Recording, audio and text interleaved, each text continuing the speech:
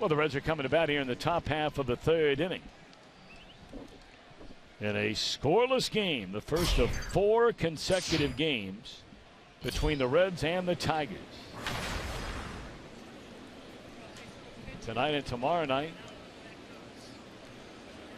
here in the Motor City, and then night games on Wednesday and Thursday at Great American Ballpark. Not quite sure what the holdup is here.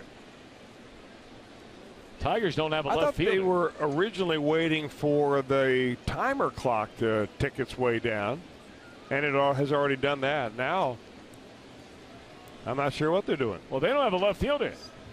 Oh, That job belongs, uh, of course, to Cespedes.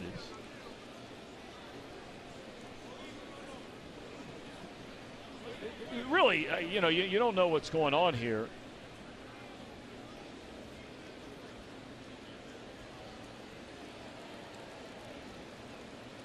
But you can guess.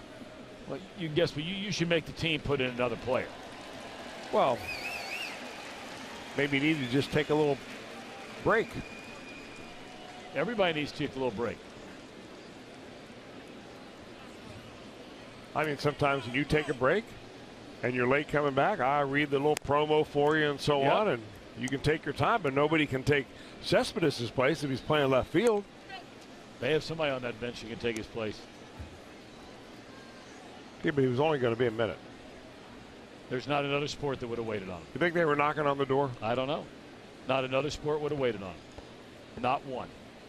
Well, he's They'd have been playing. he's happy he's out there now.